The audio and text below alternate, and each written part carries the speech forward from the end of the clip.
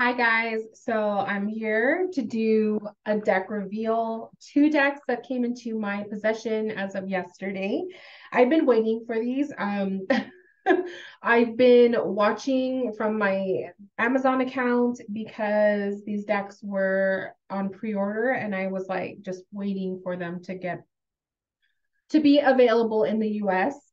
Um, so here we are. We're going to be talking about two different decks. Um, I'm combining these both in one video because um, I have never worked with them. So I only have so much to say. Um, but we're going to start. Let's talk about this one first. So this is the Wild Woman Oracle. This is actually the deck that I was waiting for for the longest time. Um, so the Wild Woman Oracle. And it says, awaken your true, free, and soulful self. This is by Cheyenne Zarate.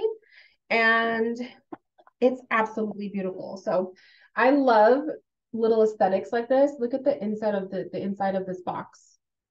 So pretty. You have this gorgeous coloring. It's just, it's just such a look that I just love. Comes with a guidebook, chunky, chunky guidebooks like this. Ooh, even the guidebook is like colorful. Oh, oh my God, I just turned on Yemaya. I love that. So um, yeah, the guidebook looks really good. Let me see, are there deck, are there tarot spreads or oracle spreads? Yes, there are. I love it. So we'll definitely have to do one of those. There's only, oh, there's only two spreads. There's not really anything much. The cards themselves, here are the backs. You have um, really simple backs. You have a moon at the center, flowers, um, leaves, it looks like feathers and butterflies. Really, really cute. And then the edges are like a black, matte black. And then the cards themselves are in this gorgeous, like, what kind of a color is this? Is this, this isn't rose gold, is it? Maybe it is kind of like a rose goldy, bronzy. I don't know. It's really pretty though. Um, so these are going based off of, let me see what the guidebook says.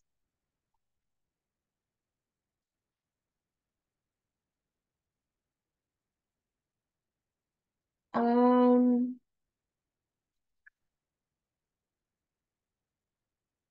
mythological folklore and contemporary tales about the empowering female figures who embody the wild woman in their own unique ways when I saw this deck, it literally reminds me, and I should have I should have grabbed the book, but I'm not going to get it. Um, it reminds me of the book The Wild um, Women Who Run Wild with Wolves. That book talks about all the different archetypes of the woman. It talks about folk tales, um, myths, all about the woman, and it's such a good book. So I highly recommend it.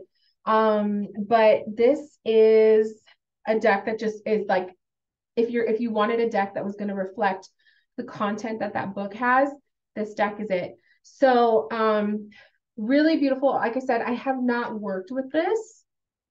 I have not worked with this deck.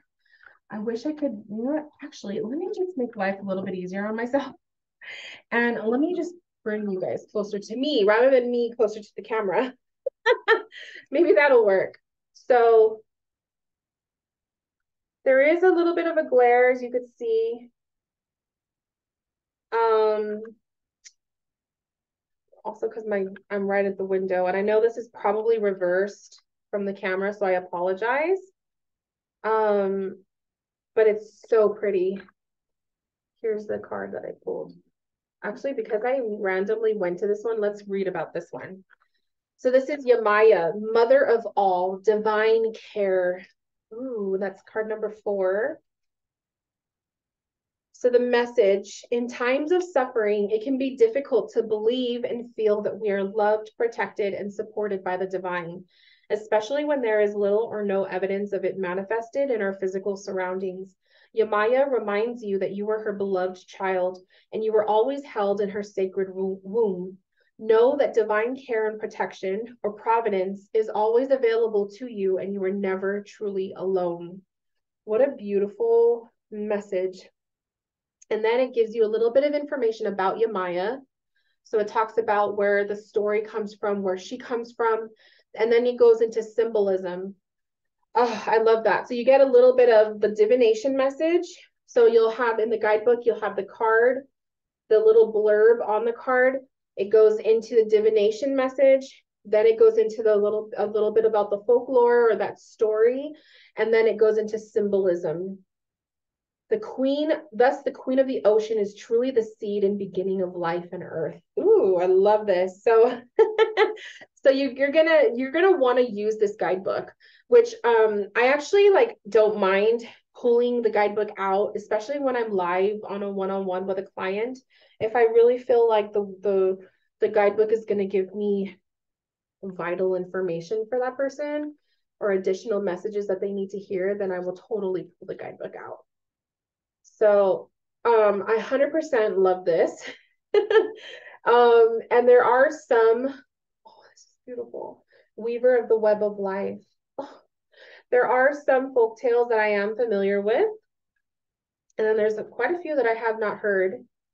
The Creatrix, the artwork is also very, very detailed. Um, maybe if I hide my face, it'll focus better. The artwork is super detailed. So when you're looking at the images, you're going to get so much out of it. Oh, so beautiful, so gorgeous. Freya, Seasons of the Witch. I love it. Um, Persephone. Oh my God. Okay, we're gonna have to read this one too. Well, look at Persephone first. Gorgeous. And then look at the call of the siren, sexuality. And it has my little whale guide, my little animal, spirit animal whale. We got to read this one. Number 20, call of the siren. Let's see here. Message. The siren reminds you that you are sec- that your sexuality is made of the same energy that builds the universe, as it is the life force that causes that courses through all creation. If you have fear or discomfort surrounding your sexuality, whether it be due to social conditioning or painful past experiences, you are being called to heal these wounds and develop a healthy, empowering relationship with your sexuality, beauty, and femininity. Oh, that's such a beautiful card. Like I literally freaking love that. Oh, I love it. Okay. Pew beautiful deck. I'm trying to think like what kind of energy of a reading would that would this deck be appropriate for, you know? Because I wouldn't I wouldn't necessarily this is like a deck I would not use for love you know what I mean? Like for a love or relationship reading, I would not pull this. I would use this deck for solo, inner work, shadow work, healing for sure. Um, moon work.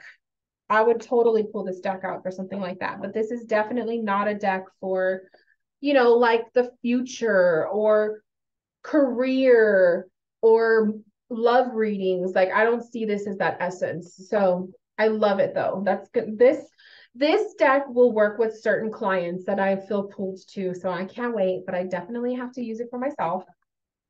And then the other deck I want to talk about is Oracle of the Witch, Reclaim Your Birthright. And this is by Flavia Kate Peters and Barbara Meiklejohn-Free. So gorgeous. So this one has its own aesthetic. You have all this red and black Really, really beautiful. And let's have a look. Oh, look at the inside. So look at the inside of the box. Reds, gorgeousness. Love it. and then this one also has a guidebook. This guidebook feels a bit more chunkier and meatier. Oh, it is color. I love that. So it is a full color. Ooh, look at that. Even the, the edges. I love this. Okay. So let's see. Are there spreads? Yes, there are. The temple, the sacred temple, pentagram spread. So there's a couple spreads in here. I love it. And then you go into, oh, I love that, Oracle of the Witch. And then you have like the little hag stone with a little witchy in the middle. and then you go into the messages. So you're definitely, it looks like with the guidebook, you're getting witchy guidance. You get the wisdom message. I'm sorry, not the wisdom message. You get the little blurb, like just a couple sentences, and then it goes into a whole in-depth witchy guidance. Um, it gives you the light and the shadow. So it kind of gives you kind of like the upright and the negative or the reverse. And then it also gives you the witchery of that goddess. So for the first card, it's Diana. So it goes into her Diana's um storyline. I love it. So here are the cards. Right off the bat, it's like just red, red, red, red. I love the edges. This beautiful blood red. And then the card backs are so pretty. So they're red. And then you have like those witchy hands with the all seeing eye in the center. So gorgeous. It just fits. And then the cards themselves are red backgrounds and you have this beautiful border. I love it. I just I really like I don't even know what is it is it monochromatic is that what the word is I don't I don't know where you have like one or two colors for a deck I find that to be so beautiful so we have Diana and they're they're goddesses Hecate Aradia the Oracle. Oh, I love this. Look at this. Oh my goodness, I'm getting all these. Um, the Oracle. Oh, look at her eyes. So creepy. Is it gonna focus? Focus, focus, focus. Probably not. Sorry, guys. One of these days I will invest in like a top-notch video camera thing to film videos with. One of these days midwife. So you kind of have like goddess, and then you have other themes or like other archetypes. The herb garden, I love that one. I kind of want to read this one. So let's see the herb garden. Ooh, spell casting. Look at that. That is gorgeous, spell casting. My computer is lagging a little bit. Um, the herb garden. This is number six. Number six. Herb garden. Within my garden are the seeds that grow in places others thought you'd never tread. Um, now is the time to get your hands dirty, to dig deep within and unearth your natural affinity with the floral world. Are you sow plant as as you sow, plant and tend your own plot, Think outside the window box for a moment and listen for the subtle messages of wisdom that emit from the plant world, as each variety has its own restorative properties and unique healing abilities. A deep connection with nature calls to you to reclaim the path of a green witch and your role as an herbalist. And I love that. I I'm so drawn to herbs and like all of that kind of stuff. Um, oh my gosh, my whole laptop is just going crazy. I love my whole um my I love the whole herb thing. Like that's just such a connection that I have. Um I feel like it's a past life thing with me. I really like these cards and I love some of them have um they have symbols. I thought they had the astrology. I don't see it. Never mind. I thought I was seeing some. I I think I thought this was an Aries sign. I don't know why the high priest. So it is kind of dark. It could be pretty dark. Um, I don't know why. I feel like spirit is messing with my laptop, you guys. Let me unplug that. Um, familiar spirit. Oh, this is such a witchy deck. I have to use this. I have to use this this time of year. Oh my god. Just look at those images. Oh, I love it. I have not gone through all of these. Here's the crone. The crone. Oh. This is literally the first time I'm looking through them. Scrying. This is such a vibe. It's such a spooky. It's like kind of spooky, but at the same time, it's so good. It's so good. This is not a deck for everyone. this is not a deck for everybody. Look at this. Witch hunts. Oh my God. Yeah. I freaking love it. So um I I cannot wait to work with these decks. I, to be honest, I feel like these could almost be shadow and light, you know? Um, they can be like sister decks. They feel like that. But I definitely would say this deck, the Oracle of the Witch, um, is probably also a deck for shadow work, specifically specifically shadow work. Um, I would also use this for kind of inner work, healing. I would use this for dark moon rituals or like dark moon, like the, the new moon energy.